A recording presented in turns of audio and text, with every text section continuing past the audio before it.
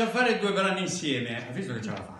Tutti e due attaccati, eh? perché poi se si sedeva dopo il violino non riceveva più.